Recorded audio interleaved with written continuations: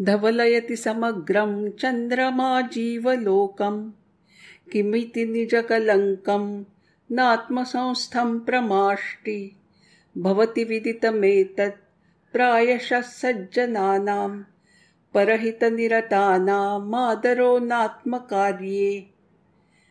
धवलयति समग्रं चन्द्रमा जीवलोकं किम् इति निजकलङ्कं न आत्मसंस्थं प्रमाष्टि भवति विदितम् एतत्। प्रायशः सज्जनानां परहितनिरतानाम् आदरः न आत्मकार्ये